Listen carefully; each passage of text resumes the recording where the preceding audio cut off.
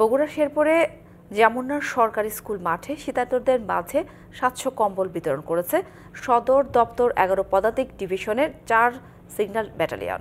এ সময় উপস্থিত ছিলেন এগারো পদাতিক ডিভিশনের colonel staff colonel Mohammad Mehedi Hasan FWC PSC এবং চার সিগন্যাল ব্যাটালিয়নের অধিনায়ক লেফটেন্যান্ট কর্নেল মোহাম্মদ শামীম হাসান।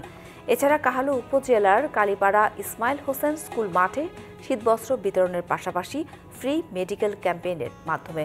নগদ থেকে পল্লী বিদ্যুতের পোস্ট পেইড বিল দিন চার্জ ছাড়াই ফ্রিতে। পাঁচশো দুস্থ মানুষকে বিনামূল্যে চিকিৎসা সহায়তা দেওয়া হয়। বগুড়া ও নাটোরের বিভিন্ন স্থানে এ নিয়ে মোট দুই হাজার সাতানব্বইটি কম্বল বিতরণ করেছেন সেনাবাহিনীর জিওসি এগারো পদাতিক ডিভিশন ও area commander Bogura area major general Mohammad Khaled Al Mamun.